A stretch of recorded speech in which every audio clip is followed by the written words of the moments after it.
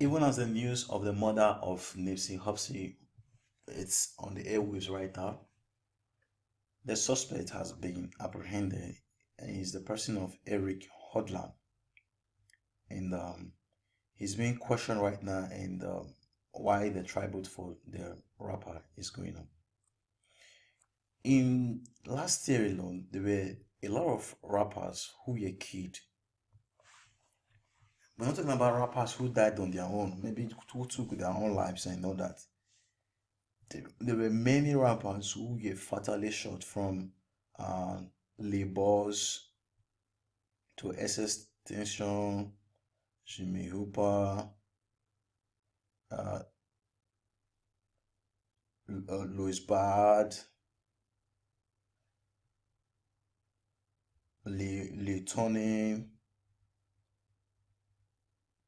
this guy, Craig Mag.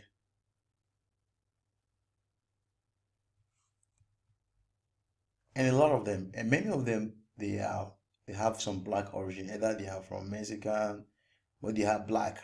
So many of these rappers have been shot. Now, if you look at the list of rappers that have been shot, you see many of them are black. Notorious, Big, this, this, this, this, this, this. So the question is, are they targeting the black race? That is one of the things. And the question is, going into the rap or the hip hop industry, what is what are what are the pros and the cons? Is it worth it? Because you see many of these artists they die in their youth. They die so so young. You look at the art, many of the artists that have been killed, little uh, hip hop rappers that have been killed so far, they die so so so young. So, what is responsible for such a death? And these are the questions that we begin to we are supposed to be asking, and not just saying, "Oh, this person is dead. Oh, he was shot there. Why are they shooting them dead?" These are the things that, that should be. Is there rivalry?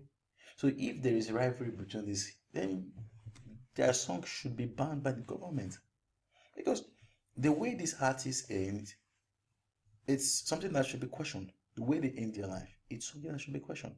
So I'm just be concerned. And I want to end this video here. So let me know what you think.